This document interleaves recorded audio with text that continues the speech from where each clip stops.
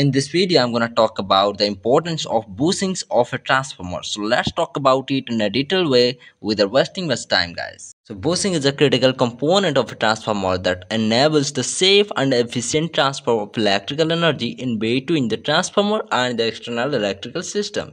So it is a type of electrical insulator also that is used to connect the transformer's winding to the external system so the transformer bushings are typically made of, of ceramic, porcelain and polymer materials and they are mainly designed to withstand the high voltages and the high currents associated with the transformer operations. So the main function of the bushings are they provide normally the electrical insulations and also they provide the mechanical support.